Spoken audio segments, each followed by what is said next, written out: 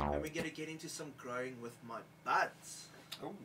So we got the monster plant going. While Dan gets us going, I'll go fetch it quickly. But um, this week's topic is about what you can do for arid soils. The reason I bring this up is it turns out that the biggest farmers and cannabis growers stateside, most of the money that they're putting into research, uh, oh yeah, cool, yeah, it's on the roof there. Uh, most of the money that they're putting into research, they're putting it into soil research, but not just like adding shit to soil, soil preservation. Because once something's out, it's gone. Yes. Oh, here's the baby. Hey. Is this the, this one? Which one? Yeah, that's Dope Rogan, bro. Yes. Dope Rogan. Dope Dope Rogan. There he is. Dope Rogan. He's doing pretty good, eh? Fucking hell. Yeah, looks like She. She. She. Stop, stop it. She. again. Yes, you're She. very correct. No, who are we? Who are we? How dare you? But now, so these actually saying what they're trying to do is preserve the soil, preserve the life in it, the vibes, the environment. But now, what can you do to preserve that? Then, let's say you got some, you got some grond. It's not the greatest, Mm.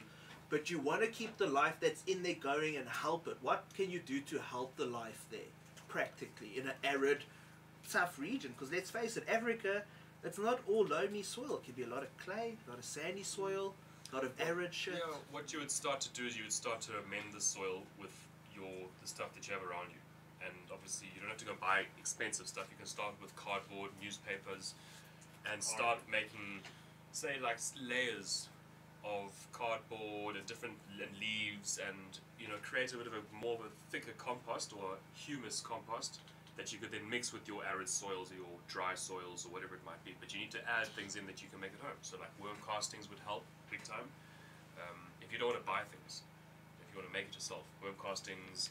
Uh, follow the KNF route of things. Come back to the KNF things. Korean natural farming will make any soil that is literally barren into a thriving, very flush, fl- flourishing, nu- nutrient-rich area.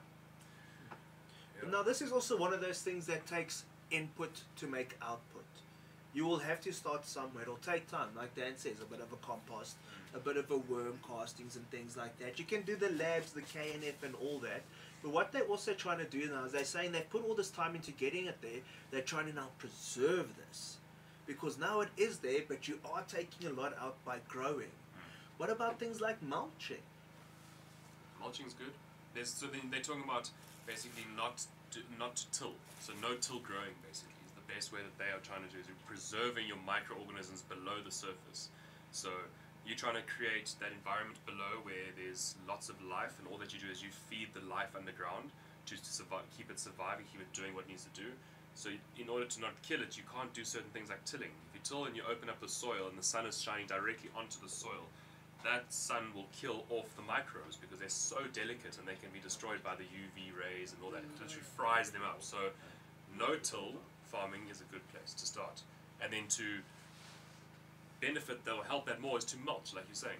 Put a mulch on top or grow cover crops on top of that that allow more bacteria and natural microbes to live within that area, not be excluded like when you do hydroponically, you do exclude most of them. You still do have some, but you exclude a lot of it. You know, you're going into a sterile medium that is mm. basically just coco or hu- rock wool or stone mm. or water or air.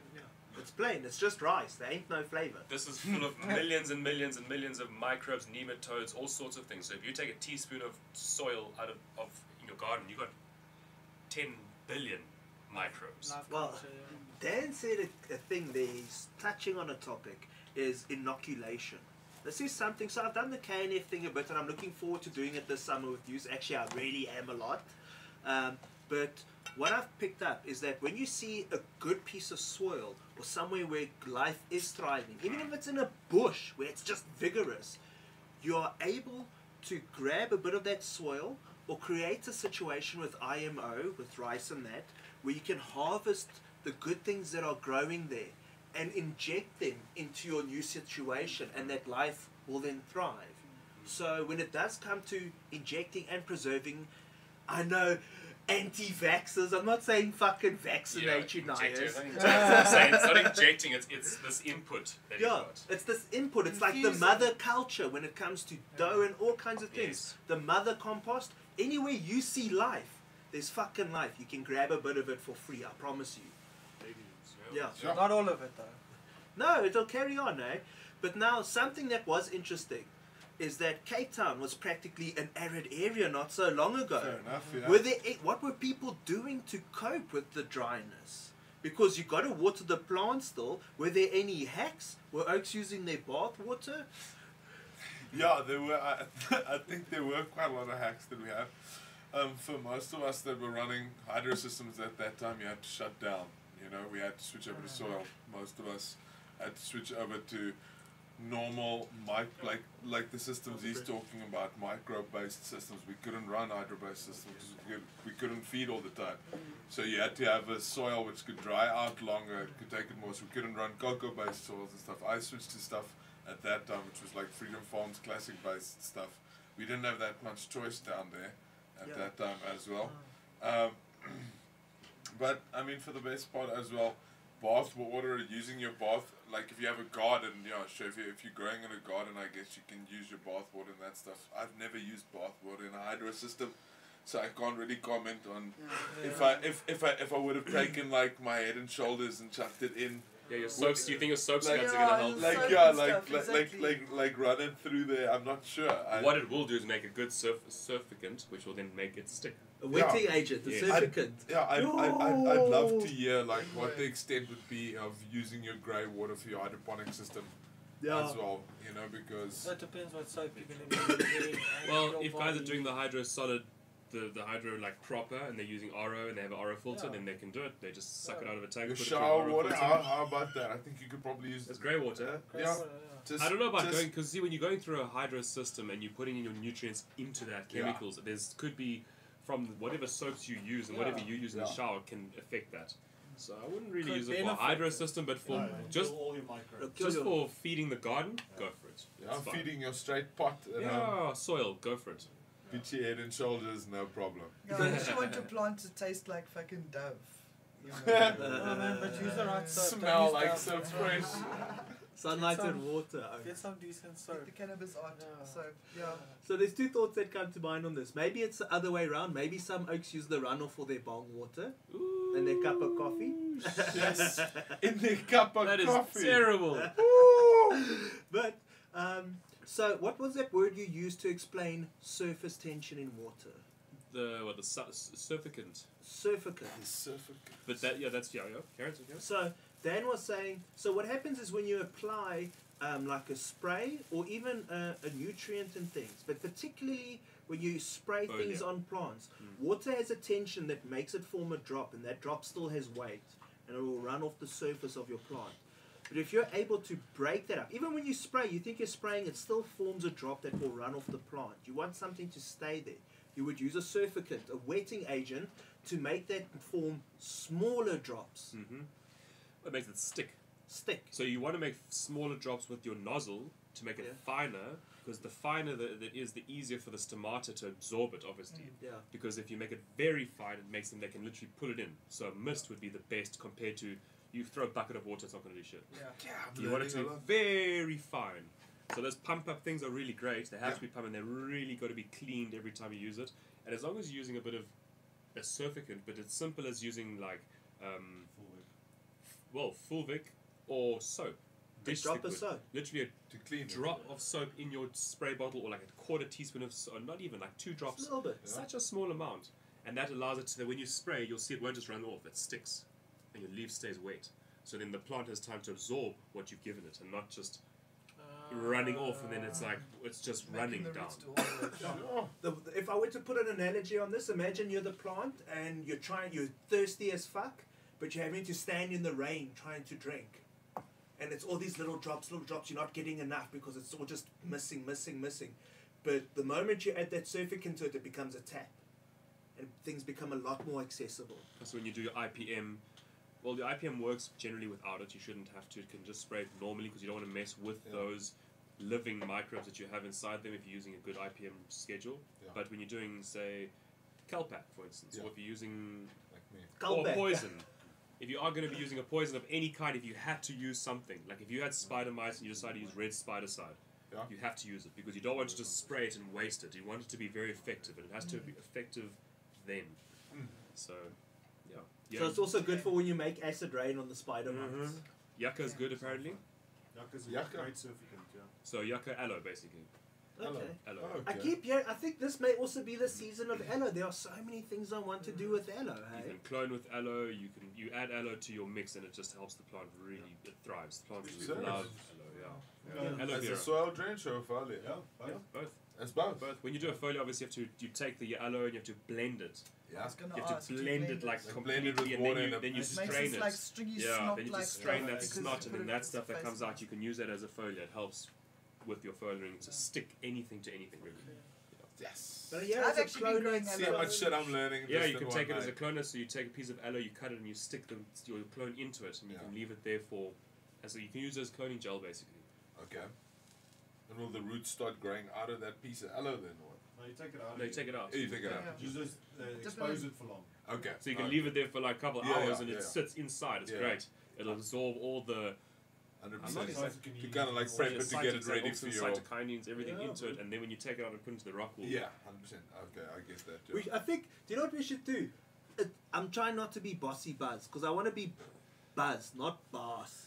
I Boss. keep saying lately to a lot of people. but It's, it's maybe it would be good to do a Clonex versus Aloe shootout in the near future on the show. Hey, Okay. So it's Clonex. Well, We Clonex put is no six- longer. Clonex I've got no I've got a bottle of Clonex. Oh, okay, that's cool. Jeez, you Okay. lucky.